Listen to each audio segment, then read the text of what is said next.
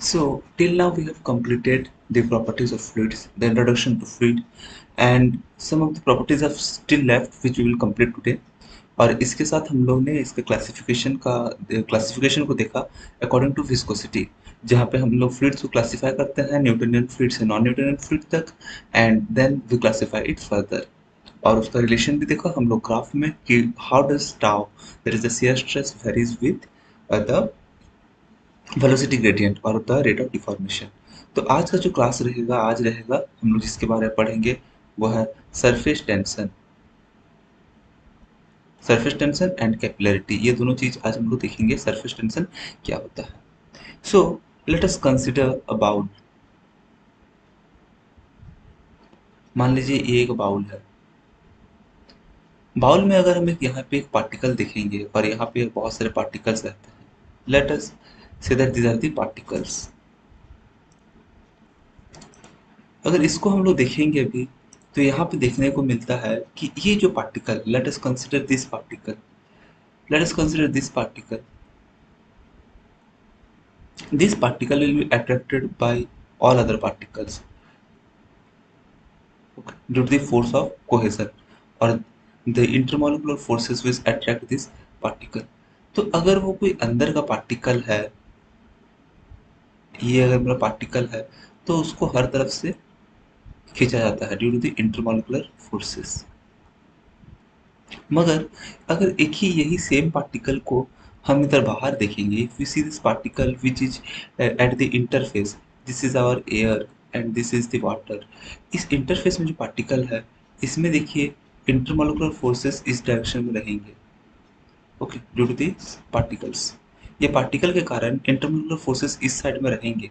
मगर बाहर का साइड जो है, इधर हम लोग का कोई वाटर का मॉलिक्यूल नहीं है, जिस कारण से पार्टिकल्स इधर इस सरफेस में नहीं आ पाएँगे। क्योंकि इसमें हम लोग देखते हैं कि ये पूरा पानी में डूबा हुआ है तो यहाँ पे फोर्सेस ठीक है। मगर जो पार्टिकल आधा डूबा हुआ है, जो जो बबल आधा है, जिसको हम लोग कंसिडर कर सकते हैं तो ये जो मॉलिक्यूल जो आधा है, इसको चारों तरफ़ से खींच रहा, खींचा जा रहा है, बस ऊपर की तरफ़ से खींचा नहीं जा रहा। तो it develops a net downward movement इसका रिजल्टेंट अगर हम देखेंगे तो एक नेट डाउनवर्ड मूवमेंट ये सब पार्टिकल्स देखिए, इसका रिजल्टेंट क्या आ जाएगा? नेट डाउनवर्ड मूवमेंट तो ये जो नेट डाउनवर्ड मूवमेंट होता है सरफेस टेंशन इसी की वजह से होता है. सरफेस टेंशन कुछ नहीं है ये टेंशन है आउटर लेयर का. जो लेयर है, जहाँ से हम लोग पार्टिकल को कंसिडर कर रहे हैं, ये जो सरफेस का जो लेयर है, इसको क्या होता है? एक तनाव रहता है. दीज आर सच पार्टिकल्स ये पार्टिकल्स में एक तनाव रहता है, सब पार्टिकल का नेट रिजल्टेंट मोमेंट डाउनवर्ड रहता है। So this tension this tension is balanced by the molecules. Molecules जो मॉलिकुलर इंटरमोलिकुलर फोर्सेस हैं, उनको भी बैलेंस कर रहा है ये टेंशन ये टेंशन क्या है? इस लेयर को मज़बूत कर देता है स्ट्रॉन्ग कर देता है। कैसे पता चला स्ट्रॉन्ग करता है कि नहीं? एग्ज़ाम्पल के लिए आप कभी देख सकते हैं, कोई कीड़ा जो कि पानी के ऊपर चलता है वो देखिएगा, वो सरफेस के ऊपर ही रहता है। अगर वो अंदर जाए तो वो डूब जाएगा। क्योंकि सरफेस में जो टेंशन है, इसी टेंशन की वजह से वो चल पाता है। सिमिलरली अगर आप एक एग्ज़ाम्पल लें, एक सुई का तो सुई में भी आप देख सकते हैं कि जो उसका कांटा है, वो कभी फ्लोट करता है ऊपर। सुई कभी ऊपर फ्लोट करता है और अगर आप उसको डुबा दें तो वो डूब जाता है। ये जो फ्लोट करता है, एक सुई जो फ्लोट करता है, उसका कारण है सरफेस टेंशन ओके? तो सरफेस टेंशन हम लोग देख लिए हैं। अब इसको अगर हम लोग, इसका जो यूनिट है, ऐसा यूनिट सरफेस टेंशन का है let me zoom out this page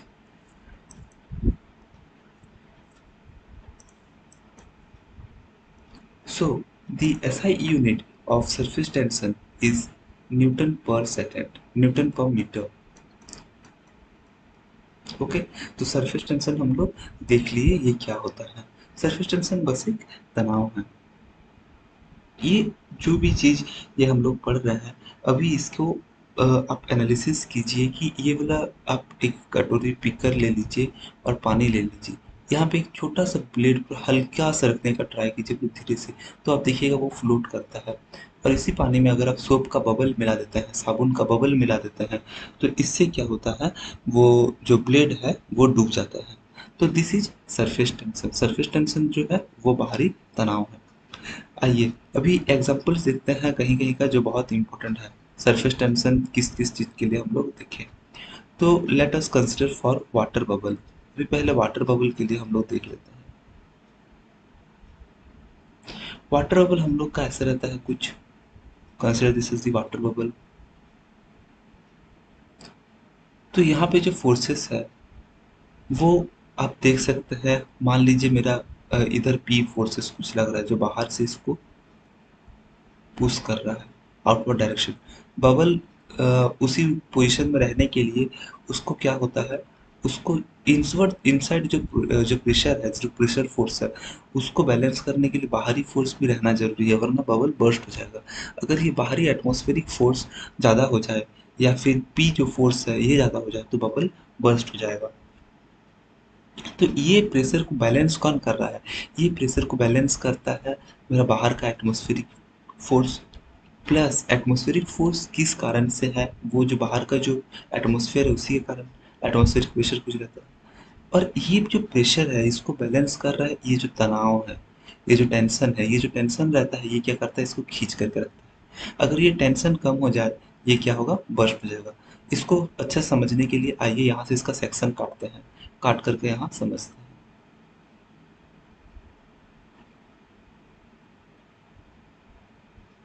मान लीजिए ये मेरा वाटर बबल है। इसमें अंदर में क्या है? वो अंदर अंदर में वाटर है और बाहर इधर एयर है।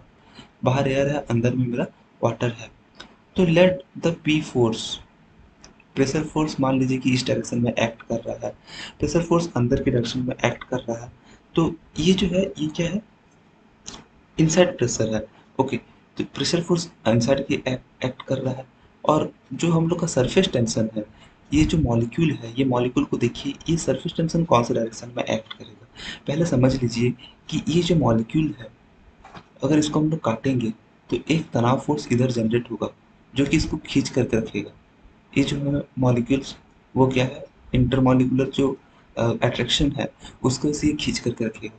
तो अभी इसको हम काट दिए हैं। काट देने के बाद क्या होता है? यहाँ का जो फोर्स है, वो इधर एक्ट करता है। अगर हम इसको काट दें तो ये जो है मेरा कुछ नहीं, ये मेरा सरफेस टेंशन है। सरफेस टेंशन को हम लोग सिग्मा से रिप्रेजेंट करते हैं। ओके तो सरफेस टेंशन है। सरफेस टेंशन जो है, वो हमेशा एक लेयर में काम करता है। Surface tension always acts in layer it may be liquid liquid liquid liquid layer और इट कैन बी लिक्विड और गैस लेयर ये दोनों लेयर में जो है सरफेस टेंशन एक्ट करता है। तो वाटर बबल के टाइम में हम लोग देखते हैं जो इनवर्ड जो फोर्स है, जो प्रेशर फोर्स है let us consider this this pressure force ये जो प्रेशर फोर्स है, ये फोर्स एक्ट कर रहा है मेरा ये एरिया के ऊपर क्रॉस सेक्शनल एरिया के ऊपर। और जो ये सरफेस टेंशन है, वो एक्ट कर रहा है मेरा सरकमफ्रेंस में। तो इसी को हम लोग इक्वेट करेंगे। एक बबल को बैलेंस होने के लिए इसको इक्वेट करना पड़ेगा। इधर इक्वेट करते हैं। प्रेशर फोर्स कितना है? पी इंटू इधर मेरा फोर्स कितना है? इधर मेरा फोर्स है pi by four D square इसका जो क्रॉस सेक्शन है।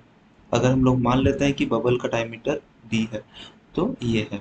नेक्स्ट अभी सरफेस टेंशन जो हाँ एक्ट कर रहा है, वहाँ कितना आ जाएगा? Sigma into two pi D okay sorry sigma into two pi R रहता है जिसको हम लोग सिग्मा इंटू पाई डी लिख सकते हैं। Sigma into pi D okay? तो ये वाला चीज़ हम लोग देख लिए। अभी ये फोर्स को बैलेंस करने के लिए इसको इक्वेट कर देंगे तो अभी चेंज इन प्रेशर हम लोग का पी कितना आएगा? पी आएगा सिग्मा इधर कैंसिल हो जाएगा पाए पाए कैंसिल कर देते हैं डी डी कैंसिल कर देते हैं। तो पी आ जाएगा four sigma by D this is this formula for water bubble for water bubble के लिए जो डिफरेंस इन प्रेशर रहेगा वो पी रहेगा पी क्या है? पी है प्रेशर इनसाइड द ड्रॉपलेट ठीक है? प्रेशर जो है ड्रॉपलेट में ड्रॉपलेट के अंदर जो है। ओके okay, तो ये जो प्रेशर इनसाइड द ड्रॉपलेट है इसको कौन बैलेंस कर रहा है? सिग्मा तो प्रेशर इनसाइड द ड्रॉपलेट कितना ज़्यादा है एटमोस्फेरिक प्रेशर से? तो इस चीज़ को पी कह सकते हैं। मान लीजिए कि हम लोग का जो आउटसाइड प्रेशर अगर ज़ीरो है तो हम लोग का पी क्या है? हम लोग कंसिडर कर ले कि हम लोग का आउटसाइड प्रेशर ज़ीरो है। आउटसाइड प्रेशर को अगर हम लोग ज़ीरो कंसिडर कर लेते हैं तो मेरा पी आ जाएगा इक्वल टू पी कुछ नहीं है, बस डेल्टा पी है, जिसको कि हम लोग पी माइनस ज़ीरो लिख सकते हैं, और इसके अंदर पी ओके तो हम लोग का इधर जो प्रेशर है, वो पी है। आउटसाइड प्रेशर हम लोग का मान लेते हैं ज़ीरो है तो इधर हम लोग का ये आ गया है पी ओके नेक्स्ट हम लोग कंसिडर करेंगे वाटर बबल के लिए। इसमें अगर आपको समझ में ना आए तो कंफ्यूज होने का ज़रूरत नहीं है। कुछ बस पी जो है वो प्रेशर है, आप कंसिडर कर लीजिए। अभी next P zero P zero क्यों हम लोग मान लेते हैं? देखिए फॉर एग्जांपल अगर मेरा ये बबल है और इधर से हम लोग प्रेशर फोर्स अप्लाई कर रहे हैं, इधर से कुछ एटमोस्फेरिक प्रेशर उसका रहेगा। पी ए इसको मानते हैं। और अंदर से भी कुछ फोर्स रहेगा। जो कि लिक्विड का फोर्स है। इस फोर्स को बैलेंस कर रहा है। पी ए टी एम जो है एटमॉस्फेरिक फोर्स चारों तरफ़ से एक्ट कर रहा है एक बबल के ऊपर। ओके नॉर्मली फोर्स हर तरफ़ से एक्ट करता है ड्यू टू पास्कल्स लॉ जो कि हम लोग पढ़ेंगे। तो ये जो है, ये इनसाइड प्रेशर है। Inside pressure outside pressure balance कर रहा है। मगर इनसाइड का प्रेशर थोड़ा सा ज़्यादा रहेगा, क्योंकि इसमें जो बबल बना है, वो इनसाइड प्रेशर ज़्यादा है, इसीलिए बना हुआ है। और इसको बैलेंस करता है सरफेस टेंशन तो इसीलिए डेल्टा पी हम लोग कंसिडर करेंगे। वो है total P okay atmospheric pressure से कितना ज़्यादा है? ये हम लोग मान लेते हैं कि ये मेरा पी है और minus P A T M तो पी ए टी एम को अगर हम लोग रेफरेंस मानते हैं तो इसको ज़ीरो कर लेते हैं तो ये मेरा पी आ जाएगा. Okay now we should consider it for soap bubble soap bubble में देखते हैं. हम लोग को पता है कि वाटर बबल में क्या है? एक ही लेयर है बाहर. मगर सोप बबल में हम लोग उसको अगर काटते हैं तो कुछ ऐसे दिखेगा.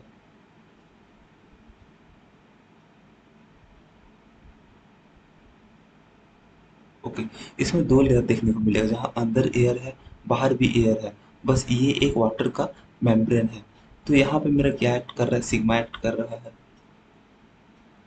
एंड इनसाइड इस डायरेक्शन में एक्ट करता है मेरा P okay. So P acts here तो ये कुछ नहीं है, ये एयर दिखाने के लिए है। ये वाटर का मेम्ब्रेन है। तो सोप बबल जो है, इसको एयर बबल भी कहा जाता है। एग्ज़ाम में आए तो कंफ्यूज ना हो। आपके लिए बस फार्मूला अभी के लिए इम्पोर्टेंट है, कोई भी कम्पिटिटिव एग्ज़ाम के लिए डेरिवेशन आए तो ये भी हम लोग कर दे रहे हैं। Okay generally P into pi by four D square same है। अभी इसमें देखिए कितना लेयर है? दो लेयर है। तो जहाँ पे दो लेयर आ जा रहा है, वहाँ पे हम लोग क्या करेंगे?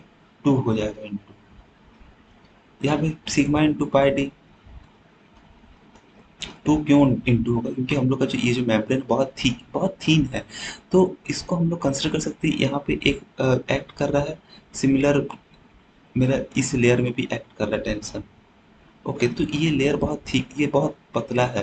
जो थिकनेस है इट इज़ नेग्लिजिबल ओके तो नेग्लिजिबल होने के कारण हम लोग मान सकते हैं कि ये मेरा एक ही लेयर है। इसको भी हम लोग मान सकते हैं कि इसका भी डाया डी ही है, चाहे वो अंदर वाला लेयर हो, अगर हम इसको फ्रंट व्यू से देखते हैं। ये मेरा बाहर वाला लेयर है। ये मेरा अंदर वाला लेयर तो ये जो थिकनेस बहुत नेग्लिजिबल है so we can consider this as D and this as also D ये दोनों को हम लोग डी मान सकते हैं. तो इसीलिए हम लोग यहाँ टू इंटू कर देते हैं.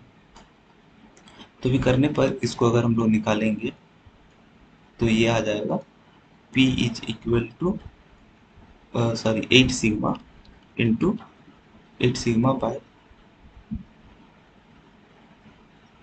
D okay, P is equal to eight sigma by D for soap for soap paper अभी देखते हैं लिक्विड जेट के लिए क्या होता है। लिक्विड जेट में मान लीजिए ये मेरा लिक्विड का जेट है। हम इसको अभी आधा से काट दिए हैं। लिक्विड का जेट जनरली क्या होता है? अगर ये पाइप में मेरा फ्लो हो रहा है, मान लीजिए पाइप से निकल के जो वाटर मेरा फ्लो हो रहा है बाहर तो इसी को हम लोग लिक्विड जेट बोलेंगे। यहाँ पे कहाँ पे, जो डिफरेंस आ रहा है, कहीं पे आ रहा है डिफरेंस आ रहा है मेरा इस लेयर में। ये तो मेरा वाटर का फ्लो है। मगर ये वाला जो एरिया है, ये क्या बाहर का जो एक्सटर्नल एरिया है, वो कॉन्टेक्ट है एयर के साथ? तो इसीलिए हम लोग इसको कंसिडर कर रहे हैं। यहाँ पे सरफेस टेंशन कितना लेयर होगा? एक ही लेयर होगा, क्योंकि यहाँ पे एयर बस एक ही डायरेक्शन में कनेक्शन आ रहा है। ओके और ऊपर का लेयर हम लोग का जो है, वो इसके ऊपर भी हम लोग का पानी है। ओके और इसके बिलो भी हम लोग का पानी है। तो इसीलिए ये वाला लेयर में हम लोग का जो है सरफेस टेंशन नहीं एक्ट करेगा। क्योंकि यहाँ पे जो है वाटर मॉलिक्यूल भी है। वाटर मॉलिक्यूल जहाँ पे नहीं है, उसी लेयर में बस एक्ट करता है। जहाँ पे वो वाटर मॉलिक्यूल हो या फिर लिक्विड मॉलिक्यूल हो जहाँ पे लिक्विड का कोई लेयर नहीं है, या फिर जो बाउंड्री है हम लोग का बस उसी में एक्ट करेगा। क्योंकि बाउंड्री जो है मेरा वाटर जेट में वो इसका सरकमफ्रेंस में है तो हम लोग का सरफेस टेंशन इसी में एक्ट करता है। ओके तो सिग्मा इस डायरेक्शन में एक्ट कर रहा है और डी जो है इधर एक्ट कर रहा है। तो अभी डी कौन सा, मान लीजिए कि इसका मेरा जो लेंथ है वो एल है। ओके कंसिडर करते हैं इसको एल है और मेरा ये ये जो है, ये मेरा डी है, क्योंकि ये मेरा डायमीटर है। तो लिक्विड जेट में क्या हो जाएगा, इसको बैलेंस करने के लिए क्या करेंगे? P into D into L okay, P into D into L D into L क्या हो गया? मेरा एरिया हो गया, जो कि हम यहाँ पे ले देते हैं। तो P into D into L is equal to देखिए, अभी दो लेयर दो दो जगह में ये एक्ट कर रहे हैं। एक इस लेयर में, एक इस लेयर में। तो इसका भी इसका सरकमफ्रेंस हम लोग कैसे निकालेंगे? सरकमफ्रेंस जनरली सेंटर के लिए, मगर ये कौन से रीजन में एक्ट कर रहा है? ये एक्ट कर रहा है ये वाला जगह में, ये वाला जगह में। तो अगर हम लोग इसको निकाल लेते हैं, मान लेते हैं वो sigma into L plus sigma into L okay ये इस लेयर में एक्ट कर रहा है तो इस, इसका कितना में एक्ट कर रहा है? सिग्मा इंटू एल रीजन में। ये एक्ट कर रहा है सिग्मा इंटू एल रीजन में। तो इसको दोनों करके मिला करके हम लोग लिख सकते हैं यहाँ पे two sigma into L okay two sigma into L अभी कैंसिल आउट करेंगे तो हम लोग का पी यहाँ पे आ जाएगा two sigma by D okay तो अभी जो है, हम लोग इसको सरफेस टेंशन को कंप्लीट कर लेते हैं। यहाँ से बस इतना ही क्वेश्चन आ सकता है कहीं पे भी। नेक्स्ट हम लोग अभी पढ़ेंगे कैपिलरिटी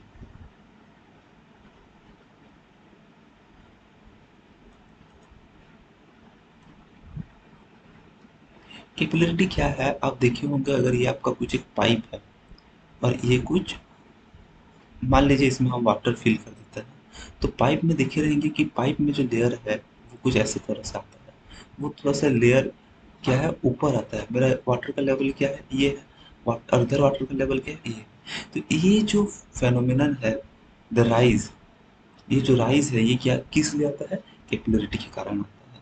ओके तो कैपिलरिटी कुछ नहीं एक फेनोमिनन है लिक्विड का, जिसमें वो ग्लास ट्यूब में, हम लोग ये ग्लास ट्यूब मान लेते हैं। ग्लास ट्यूब में जो एडजेसेंट राइज होता है, या फिर जो एडजेसेंट फॉल होता है to the adjacent level of liquid इसके आसपास जो लिक्विड है, उसके हिसाब से उसके मुताबिक जो राइज और फॉल फॉल होता है, इसको कहा जाता है कैपिलरिटी तो व्हाट इज़ द रीजन इसका रीजन है cohesion and adhesion we can also say it one of the reason is surface tension.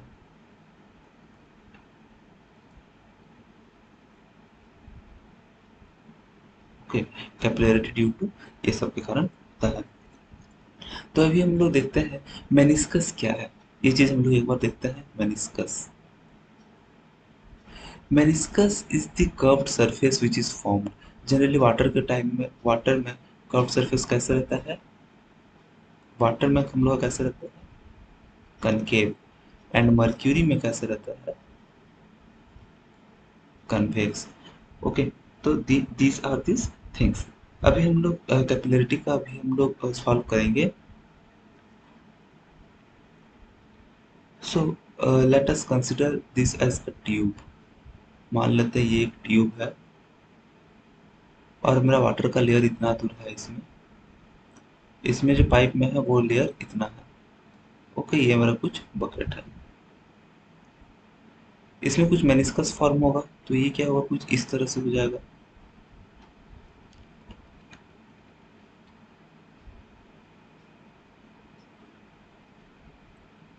Okay तो लेट दिस डिग्री इसको क्या कहा जाता है? वेटिंग एंगल ये जो है, ये थीटा हम लोग मान लेते हैं, और इसको भी हम लोग, ये जो एंगल है with respect to glass tube इसको हम लोग थीटा मान लेते हैं। वाटर के लिए in case of water theta is equal to पहले लिख लेते हैं, ये है हम लोग का वेटिंग एंगल ओके तो इसमें जो राइज हो रहा है, ये जो वाटर हम लोग का राइज होता है, कितना राइज होता है?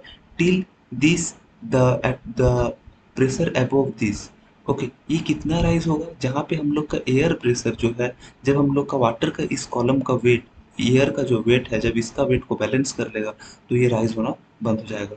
ओके तो फॉर दिस हम लोग अभी देखते हैं, हम लोग क्या कर सकते हैं? अपवर्ड फोर्स कितना है इसमें? अपवर्ड फोर्स उतना ही होगा जितना वेट ऑफ़ वाटर कॉलम होगा ट्यूब में। ट्यूब में अगर वेट ज़्यादा हो जाएगा तो क्या हो जाएगा? वो गिर जाएगा। ट्यूब में वेट कम होगा तो ये चढ़ जाएगा। तो सरफेस टेंशन जो है यहाँ पे क्या कर रहा है? काम आता है। सरफेस टेंशन बैलेंस कर रहा है। ये जो है मेरा कुछ नहीं है, ये मेरा सरफेस टेंशन है सिग्मा सरफेस टेंशन जो है इसको खींच करके रखा हुआ है। तो फॉर दिस सरफेस टेंशन पहले देखते हैं कितना है। ओके सरफेस टेंशन फोर्स कितना है? ये देख कैलकुलेट करने पर हम लोग आ जाएगा, मिल जाएगा। सरफेस टेंशन देखिए कहाँ पे एक्ट करता है इसका सरकमफ्रेंस में। सरकमफ्रेंस में हम लोग को पता है ये पाई डी है। इनटू पाई डी हम लोग काम कर लिया। अभी इसका डायरेक्शन कौन सा है? ये थीटा है। तो थीटा को अगर रिजॉल्व करते हैं, कोई भी चीज़ को अगर आप रिजॉल्व करते हैं, एक चीज़ आप याद रखिए, अगर आपको यहाँ पे दिक्कत आता है तो थीटा को अगर आप रिजॉल्व कर रहे हैं तो ये जो जगह है, ये थीटा है अगर थीटा के साथ जो लगा हुआ है जो एंगल वो हो जाएगा कॉस थीटा एंड जो अब the opposite angle will be sine theta क्योंकि मेरा थीटा अगर हम लोग इसी डायरेक्शन में वेट जो है मेरा इस डायरेक्शन में काम करता है वर्टिकली तो हम लोग थीटा भी इसी डायरेक्शन में कंसिडर करेंगे वर्टिकली तो ये क्या हो जाएगा? Sigma cos theta okay now weight अगर हम वेट कंसिडर करेंगे, कितना है? Weight of fluid weight of fluid मेरा आ जाएगा। वेट ऑफ़ फ्लूइड कहाँ पे एक्ट कर रहा है? ये एरिया में एक्ट कर रहा है। तो ये है pi by four B square okay into कितना रीजन में एक्ट कर रहा है? मान लीजिए कि मेरा ये जो एच है राइज जितना हुआ है कैपिलरी राइज तो एच इंटू डब्ल्यू डब्ल्यू क्या है? वेट डेंसिटी है। ओके तो ये हाइट में एक्ट कर रहा है। तो हम लोग को पता है वेट डेंसिटी जो है weight is equal to weight is equal sorry तो जो हाँ वेट इज़ इक्वल टू कितना? वेट बाय वॉल्यूम को हम लोग क्या लिख सकते हैं? वेट बाय वॉल्यूम को हम लोग लिख सकते हैं weight density weight by volume को। तो अगर वेट कैलकुलेट करना हो it will be W into volume is equal to तो यही हम लोग निकाले हैं। ये जो है हम लोग का वेट डेंसिटी है, ये डब्ल्यू आ गया। वॉल्यूम को हम लोग एरिया इंटू लेंथ लिख सकते हैं। तो अभी ये दोनों चीज़ को बैलेंस करना है equating this surface tension must balance the weight तो तभी जाके ये एक लेवल में आ सकता है। तो pi D into sigma cos theta is equal to pi by four D square H W अभी कैंसिल आउट करते हैं पाई डी पाई डी को तो अभी यहाँ पे हम लोग का आ जाएगा एच हम लोग का कैपिलरी राइज चेक करना है। H is equal to sigma cos theta जो है हम लोग का ये आ जाएगा four sigma cos theta four इधर चला जाएगा। Four sigma cos theta by W and here it is d. okay so this is the formula. Next page में हम लोग इसको फिर से देखते हैं। तो h हम लोग का आ गया है h is equal to four sigma cos theta by W D यहाँ पे याद रखिए सिग्मा जो है सरफेस टेंशन है थीटा वेटिंग एंगल है डी डायमीटर है डब्ल्यू वेट डेंसिटी है। Okay in case of water in case of water हम लोग का थीटा जो है it is equal to zero so theta जो है ज़ीरो है so H is equal to four sigma by W D okay ये वाटर के कारण वाटर के लिए है. Now if you consider for mercury अगर मर्क्यूरी के लिए भी इसको ड्राइव करना हो तो मर्क्यूरी की भी हम लोग कर सकते हैं. ये मान लीजिए मेरा ट्यूब है. मर्क्यूरी में जो लेयर है वो एडिसेंट लेयर उसमें कैपिलरी फॉल होता है, इसको कैपिलरी फॉल कहते कहते हैं। जहाँ पे कि जो लिक्विड है, ये मेरा लिक्विड है, जहाँ पे लिक्विड है, वो एडजेसेंट लेयर से नीचे है। तो इसको हम लोग मानते हैं कि ये एच है। अगर इसको हम लोग एच कंसिडर करते हैं, और ये मेरा एंगल थीटा है तो हम लोग इस चीज़ को भी निकाल सकते हैं। अभी हम लोग बार बार नहीं निकालेंगे क्योंकि हम लोग को पता है H is equal to four sigma cos theta by D और हम लोग का जो थीटा है in case of mercury theta लगभग हम लोग का आता है 140 डिग्री 130 डिग्री से 150 डिग्री रहता है। कंसिडर करते हैं 140 डिग्री तो हम लोग का ये आ जाएगा वन फोर्टी डिग्री है। तो cos theta is equal to cos one cos one forty degree तो इसको हम लोग लिख सकते हैं theta is equal to cos theta is equal to cos 140 degree cos 140 degree को हम लोग लिख सकते हैं cos pi minus forty degree okay तो ये जाएगा minus cos forty degree okay minus cos forty degree आ जाएगा. तो यहाँ पे इसीलिए हम लोग का जो फॉर्मूला आ जाता है four sigma cos forty degree by D okay ये हम लोग याद कर लिए. तो और दूसरा चीज़ जो है कैपिलरी के बारे में याद रखना है, वो है कैपिलरी में हम लोग का जो ट्यूब है it must be thin tube must be thin और ये आठ एम से ज़्यादा कम पतला नहीं होना चाहिए, क्योंकि उसमें फिर राइस और फॉल नहीं होगा, थोड़ा सा फोर्स रहेगा और बारह एम से ज़्यादा भी नहीं रहना चाहिए, क्योंकि इसमें फिर राइज और फॉल होना दिक्कत आ जाएगा। For wetting liquid non wetting liquid के लिए क्या है, हम लोग का जो कोई दिक्कत नहीं है, उसमें कोई फॉल या राइज नहीं होगा ओके तो वेटिंग लिक्विड के लिए for wetting liquid non wetting liquid हम लोग का राइज एंड फॉल होगा सॉरी नॉन वेटिंग लिक्विड हम लोग कौन सा मर्क्यूरी है? ये वेट नहीं करता है, इसीलिए वो नीचे रहता है. मगर वेटिंग लिक्विड है तो वो खींच के ऊपर चला जाता है, वो भीगा भीगा के ऊपर चले जाता है. आप इसी एग्ज़ाम्पल ले सकते हैं. फॉर वेटिंग लिक्विड एक चीज़ ये याद रखिए. For wetting liquid theta is less than pi by two